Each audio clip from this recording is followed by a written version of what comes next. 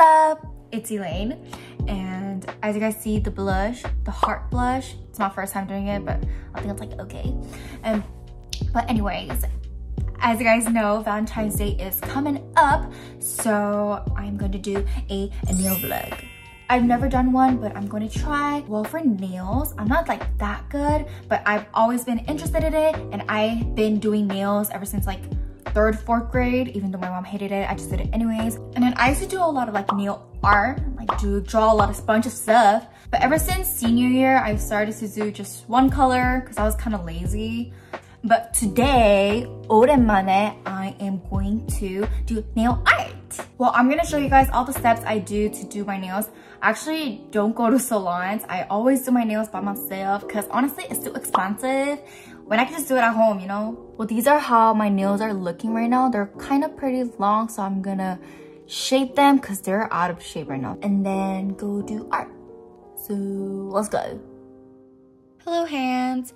Well for today, I'm going to use these two stickers, pink and like a pink sparkle and this red and a clear top coat and the super old beige clear color and a nail filer.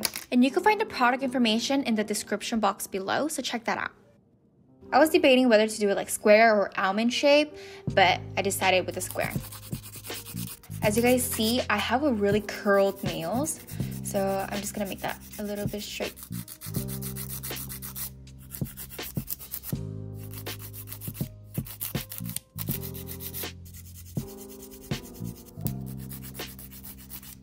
This is how it's looking. It's not perfect, but this will do. Now I'm gonna apply my pink. This actually comes with a nail filer and a alcohol pad. I'm gonna open this and I'm going to look for the one that is the size of my pinky. I did this kind of wrong, so don't copy this one. This is a bad tutorial, yes. So as you see, I have to take off the sticker on the back. But I did it after all, and it's like a dry nail polish sticker, and I just put it on, and it's dry. I don't need to wait for anything, it's just dry and done. Good to go. Sorry, I'm like out of frame, but as you see, there's like wrinkles, right? But then I could just take it off and put it back, which is really cool. I don't know how this works, but it's science, you know? And I'm just gonna clip this off. And I really don't wanna waste this, so I usually like to do a French tip with the leftover. Just like that. And with the nail filer, I'm just gonna get rid of the axes.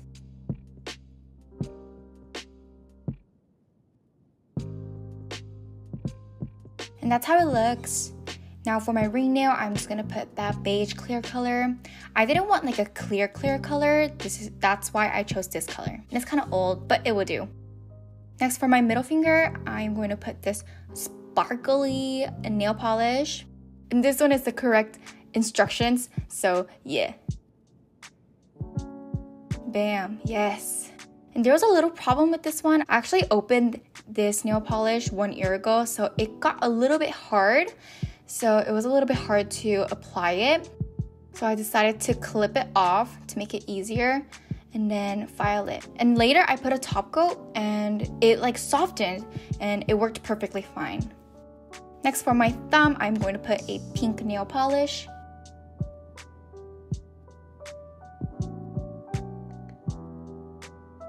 And bam, just apply it. And if there's wrinkles, I just take it off and reapply it.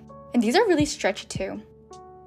And I clip it off and you know where the leftover is going. Next for my ring finger, I'm going to draw some hearts with the red nail polish. Bam! I was actually gonna draw a lot of hearts, but after drawing one heart, I thought it was really cute, so I decided to just go with one. Now for my right hand, it's like halfway done thanks to my left hand. I just decided to put hearts for two fingers. And then since it's old and it was a little cakey, I put top coat over it to smooth it out. And also did the French tip to give a little glow. And I really didn't know what color to do for my index finger, so I decided to go with this girl. And I started to draw a heart in the left bottom corner. And it was really hard. Do you see my hand shaking? Yes, you do, because I do. And this is how it turned out. It was really weird, but then it was okay. And then for my thumb, I put it in the right bottom corner because I wanted the thumb to face me. And the thumb worked really well, so I used the same technique for my fourth finger again.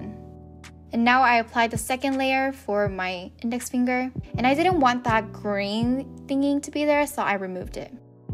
And this is how my nails are looking. Don't forget to give me a like and subscribe and comment.